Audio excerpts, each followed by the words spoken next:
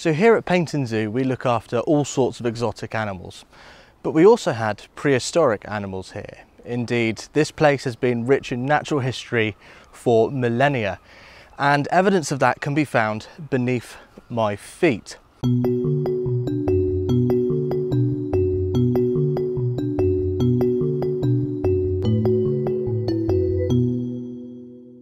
We have an underground cave system here at Paignton Zoo and it's near our nature trail in Clennon Gorge which you can have a walk around on your visit.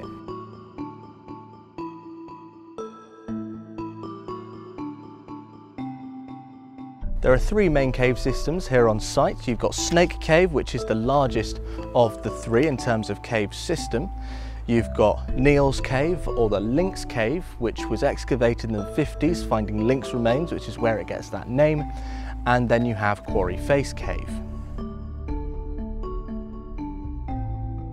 During the main excavations of the cave done by Neil and Sutcliffe in 1958-59, they found an abundance of mammalian remains. Those of horse, reindeer, red fox, hare, wolf, red deer, lynx, badger and mole. And the archive for these excavations can be found in the London Museum of Natural History. The lack of domestic species within these remains suggests that the bones were Mesolithic or late glacial in period. In fact, one of the horse bones produced a late glacial radiocarbon date of 10,600 to 10,100 BCE, suggesting that this horse was around during the Younger Dryas climatic event, a period of rapid cooling during the late Pleistocene.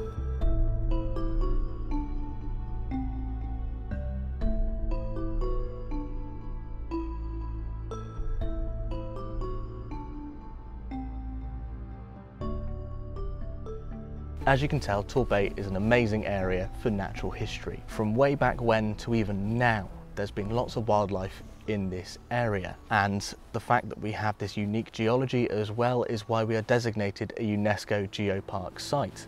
Because of this, Paignton Zoo is situated in an area where you can touch a very special part of Earth's history. You can be amazed by the beautiful landscapes and the wonders of animals both old and new.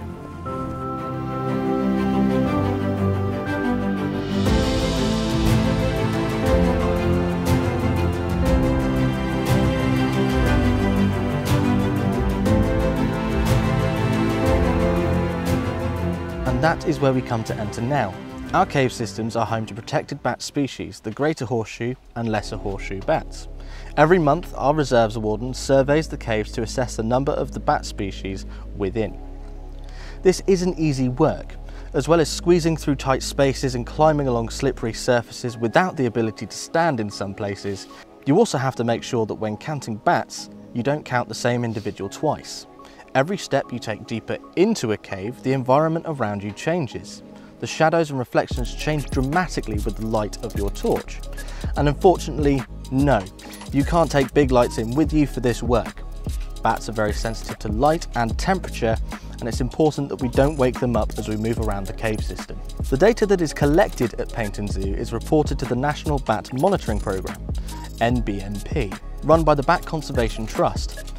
It is an annual series of bat surveys undertaken by thousands of dedicated volunteers. It allows the NBMP to monitor changes in British bat population. The data is used by the government and conservation organisations to monitor the health of our environment, inform policy and improve the conservation of our native species. Of the bats in our cave systems, the greater horseshoe bat is the larger of the two. It's around six to seven centimetres long and has a wingspan of 35 to 40 centimetres. They weigh around 34 grams and they live to about 30 years old. This species is protected in the UK under the Wildlife and Countryside Act of 1981 and that's why we're careful not to disturb them as we do our surveys.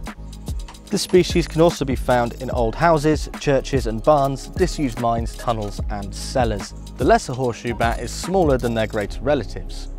They're around 4 to 5 centimetres long, have a wingspan of 20 to 25 centimetres and they only weigh up to 9 grams. But they do live to about 30 years old, just like the greater horseshoe bat, and they're protected under the same act and found in very similar places to their greater relatives. In our caves, you'll also find invertebrates. So look away now if you don't like creepy crawlies. The European cave spiders are well camouflaged being dark brown and black, so they can be tricky to spot at first. They are a species of long-jawed orb-weaving spider and is also known as the orb-weaving cave spider and the cave orb weaver. These spiders enjoy a diet ranging from flies to woodlice, millipedes to slugs. The white ball-like creations made by these spiders is actually an egg sac that holds hundreds of tiny little spiderlings. These nests are often found near the entrance of a cave system despite the adult spider's aversion to light. This is because when the juvenile spiders hatch, they are instinctively attracted to that light and they will disperse and colonise different areas away from the parents. The herald moth is another species that frequent the Paignton Zoo caves. It is an unmistakable and distinctive moth with broad, strongly hooked forewings that have scalloped edges and white cross lines. The wings are dark greyish brown with colourful orange blotches near the base and centre of the forewings. Mature herald moths spend winter in caves, barns or outbuildings. They're most often found feeding after dark on flowers and overripe berries. Now it's important to note that this cave trip was undertaken by experienced staff here at Paignton Zoo with previous experience in caving and it was in a well-mapped and documented cave system. Now of course you may be inspired to go into a cave system to look for these wonderful and amazing creatures, but it's important that you don't go alone. Speleology, caving and potholing are all terms for the same activity, the discovery and exploration of caves. There's more than likely a local caving group or speleological society near you, so make sure that you check them out and get in contact with them if you want to experience caves or mines safely. Bat Conservation Trust also states that to take part in one of these hibernation surveys, you need to hold a bat licence or know someone who has a bat licence to accompany you on one of these trips. So we hope you've enjoyed this video. Hopefully you've learned something new about Wild Planet Trust and Paignton Zoo and if you've got any favourite facts make sure to leave them in the comments below.